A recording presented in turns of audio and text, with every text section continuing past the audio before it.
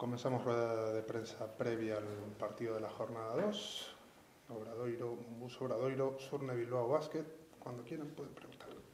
Vamos a la primera, está todo muy igual, es casi un clásico. Eh, hasta Rigoberto, Blasevich eh, comentabas que está mermado físicamente, no sé cómo está él ahora y bueno, y en, el en estos dos entrenamientos si ha habido alguna, alguna novedad en el parte de guerra?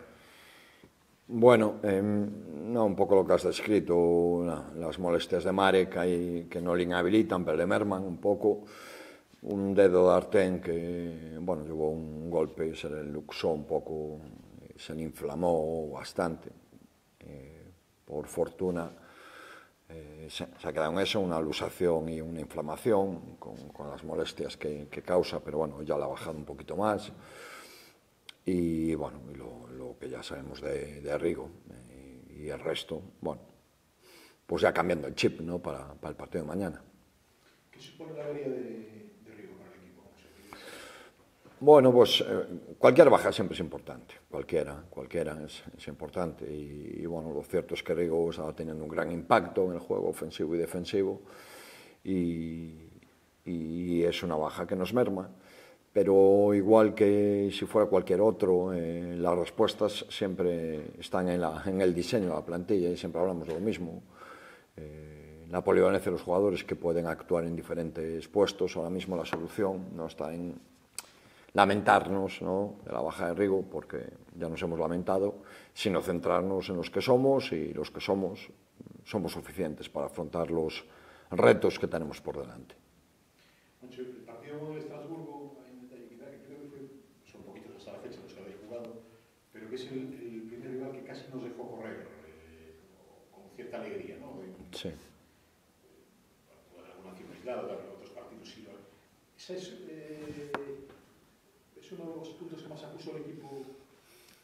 Es decir, este año estáis más en la idea de, de, de, de presionar más, de robar más, de, de, de buscar un poco más transiciones. Yo creo, bueno, eso eh, desde el punto de vista ofensivo es algo que hemos intentado hacer todos los años, intentamos correr y jugar en transición y, demás, pero yo creo que tuvimos más problemas en el aspecto defensivo que, que ofensivo. Eh, siempre hacemos el análisis por separado para, para que sea más claro, pero para poder correr tienes que rebotear, por ejemplo, ¿no? Y, y lo cierto es que nos hicieron mucho daño al rebote ofensivo, capturaron 13 rebotes de ataque, si no me equivoco con lo cual son 13 segundas oportunidades que le das al rival, que muchas de ellas acabaron en canasta, que es el gran problema. Por lo tanto, eh, ese daño te obliga a sacar de fondo, por lo tanto ya no puedes correr, no va de la mano. Yo creo que defensivamente fue el partido en el que estuvimos eh, menos bien y también hay que recordar que en ese mismo partido eh, somos capaces de hacer un esfuerzo grande y ponernos por delante ao empatar, perdón, e hai dos pérdidas en dos ataques consecutivos que nos, nos castigan, no concedernos moi moi cómodas. Tuvimos la capacidad de volver, pero se nos fue, se nos fue moi rápido. E aún así, eh, mediado el último cuarto, estábamos 15 abajo, se non me equivoco, e faltando dos minutos, que es mucho en básquet, eh, estamos cinco puntos abajo. E con posesión, o sea que podía ser, podríamos haber vuelto de nuevo, ¿no? Eh, tuvimos de nuevo la, eh, pues la garra o el coraje para, para hacerlo. ¿no? Eh, lógicamente, cuando juegas eh, cuatro partidos en ocho días, pues las fuerzas se merman, ¿no? y cuando tienes pues la baja de un jugador y medio, pues más todavía. Nuestro camino es el que es, es decir, aunque la densidad de la competición sea mucha, porque lo es, está siendo mucha, ya lo sabíamos, que van a ser muchos partidos en, en un mes, muchísimos, prácticamente uno cada tres días, con los que ya llevamos, eh, estamos en pretemporada todavía, por decirlo de alguna forma, ¿no? En, Si, por ejemplo, cogemos a Jordan, pues entrenamientos con el equipo lleva cinco, me parece. Y son muy pocos, ¿no? Son muy pocos entrenamientos. Es decir, eh, la competición está ahí y, y, lógicamente, es lo más importante, pero yo espero que el equipo siga mejorando, creciendo y, y está en esa fase donde aún cometemos errores que espero con el paso del tiempo y del trabajo pues dejemos de cometer a la vez que hacemos muchas cosas bien también ¿eh? porque ahora te estoy hablando de todo esto y dejo por el camino pues el, eso, la capacidad del propio Jordan para adaptarse en cinco entrenamientos al juego del equipo, integrarse lo más rápido posible. Bueno, eh, al final lo que mide son los resultados y si pierdes la final te quedas fuera. Aquí hay cosas buenas que tenemos que seguir manteniendo y hay cosas malas que tenemos que mejorar. Eh, viene Bilbao, con José Arnau, que es garantía de que va a ser un equipo ordenado, bien trabajado, han cambiado media plantilla, no sé si es, es muy distinto a sea, lo que habéis visto, ¿es, es parecido al del año pasado o también han cosas distintas, se va a ver un Bilbao distinto, muy distinto al del pasado? Bueno, yo creo que filosóficamente son el equipo que quieren ser, como bien has dicho, son un equipo ordenado, que sabe dónde tiene los focos de anotación, que los busca, eh, que intenta explotarlos, es decir, la filosofía es la filosofía, pero como todos los equipos, creo yo, al final esas partituras de las que hablamos, que planteamos los entrenadores, las tocan diferentes eh, músicos, ¿no? Pues los nuevos músicos que, que tiene Jauma, pues tocan diferente a los del año pasado, pero desde el punto de vista eh, filosófico, defensivo y ofensivo, son un equipo muy reconocible en, en Jauma. Eh, hablabas antes de los problemas con el rebote en el partido eh, eso a pesar de la superioridad en esa altura. ¿En los análisis que hacéis lo veis más de forma puntual o...? No, bueno, hay de todo, hay de todo. Hay acciones en las que perdemos la batalla individual eh, y hay acciones, bueno, siempre los equipos contrarios capturan rebotes de ataque, igual que nosotros lo hacemos, ¿no? El, tema es el porcentaje. Lo que entra dentro de lo normal y lo que no entra dentro de lo normal. El otro día no entra dentro de lo normal. Hay acciones que perdemos, yo creo, porque tenemos que pelarlas eh, más, ¿no? Pero, como te digo, siempre va a haber rebotes de ataque porque eso forma parte del juego. Como siempre se van a fallar tiros, ¿no? no puedes meter todo. Lo que tienes es que eh, minimizar aquellos que dependen de, ti. Hay acciones de bloqueo de rebote donde nos empujan. Lo cierto es que nos costó adaptarnos al, arbitraje de BCL, que es absolutamente diferente al de, al de Liga Endesa, muy diferente en todos, en los contactos, en, en, los empujones, en el uso de las manos, muy, muy diferente.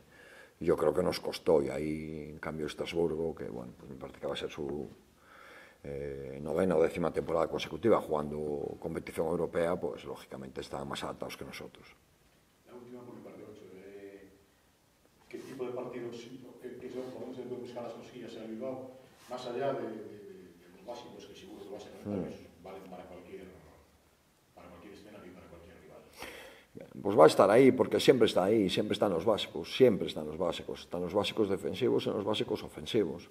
Siempre están ahí los partidos. La, la táctica ayuda, pero la base está en, no perder balones, en que seas eh, sólido en el uno contra uno eh, defensivo, en que si haces un buen trabajo defensivo lo premies con, el rebote, que no te capturen segundas, segundas opciones, y luego a partir de ahí pues ya entra la calidad de los jugadores, el acierto, etcétera, etcétera. Pero en los básicos, como dices, más allá de los básicos, es que eso es la clave, es, es si usáramos el símil de los coches, bueno, aparte que tenga cuatro ruedas, ¿Qué le pides al coche? Pues que tiene que tener cuatro ruedas y luego lo demás pues ya son, ya son otras cosas. Pues, pues va a ser aprovechar las, leer, su, leer su defensa, que es una defensa eh, muy bien trabajada, que tiene muy claro qué quieren hacer, ser capaces de, de atacarla y también eh, lo, de siempre, es que no va más allá de minimizar aquellas partes donde eres más débil e intentar ma maximizar tus, virtudes. De todas formas, como te decía al principio, eh, ahora mismo nuestro, nuestro, nuestra agenda de competición, nuestra densidad de, partidos no nos permite eh, más que descansar y prácticamente prepararnos para, para competir, porque como bien sabes llegamos el, el domingo por la noche, ayer hubo un trabajo de recuperación y hoy ha sido el primer entreno colectivo al cual, jugando mañana y jugando el domingo, no puede tener una carga enorme de trabajo. Entonces tenemos que ser buenos en aquellas cosas que nos han permitido, bueno, pues de los cuatro o cinco partidos oficiales que llevamos, pues haber ganado cuatro y perder uno. Eh, yo quería preguntarte, en relación ahora al regreso a la competición, si crees que el tener un día sí, un día no partido y demás, y llegar a Santiago el domingo, si crees que los jugadores van a acusar un poquito de carga física y del viaje, o si crees que el haber jugado más al nivel de pretemporada Sí. ayuda un poco a que se conozcan mejor en pista. Sí, ayuda, ayuda a que se conozcan lógicamente y tienes que aprender desde ahí. La competición, cuando no tienes entrenamiento, forma parte del, del entrenamiento, valga la redundancia. Eh, eh, hay algo que siempre os digo, que hay cosas que no da, que no da el entrenador, que son las relaciones entre los jugadores, etcétera, etcétera. Cansados. Eh, yo creo que lógicamente nos pasa factura el cansancio, pero creo que tenemos fuerzas para sacar los compromisos eh, venideros, seguro. Y, esta es una pregunta que me la hacéis a mí, pero que si la hacéis a ellos te dirían seguro que prefieren jugar el, el miércoles y el domingo. Los jugadores quieren, quieren jugar y, y, bueno, nuestra obligación como preparadores es llevarlos eh, hasta, hasta la competición en el mejor estado posible físico y mental, estar preparados para lo que te vas a encontrar, pero lógicamente estar con las fuerzas necesarias. Y, esto es trabajo de todo el cuerpo técnico y en esas estamos. Es una, una situación que no se nos hace rara porque venimos, pues eso, de, de jugar cada, cada tres días. Entonces jugar eh, no nos va a costar, no nos va a costar ningún trabajo. Como te digo, estoy convencido de que ellos lo que quieren es jugar. y desde el aspecto de los entrenadores, que al final hay que hacer una preparación express con tantos partidos juntos, cómo de difícil fue preparar tantos equipos de ligas tan distintas, con baloncestos tan distintos, incluso ahora volver a adaptarte a un equipo ACB y sí. tamén un arbitraje ACB. Es exigente, es exigente, muy exigente, porque eh, somos tres entrenadores, hay staff que tienen cinco, seis o solo gente que se dedica al scouting, al vídeo, ha sido muy exigente para, para Gonzalo, muy exigente, exigente, muy exigente para Víctor, sido muy exigente para ellos que tienen que hacer un trabajo eh, muy grande, porque aparte del trabajo previo al partido está el trabajo del partido, está el trabajo de los entrenamientos y demás. Es muy exigente, pero nos gusta y estamos contentos de, de hacerlo, pero es evidente que, que, que, es un trabajo muy grande, porque si normalmente tienes una semana o cinco días, pues ahora no tienes ese tiempo y lo tienes que sacar de, de donde puedes, porque el trabajo en este caso no puede esperar. Lo que no hagamos hoy no se hace, porque mañana compites. Muy exigente para ellos, sin duda, y, yo como entrenador jefe estoy muy orgulloso del trabajo que han hecho, porque, porque les ha implicado eh, lo de 24-7, nunca mejor dicho.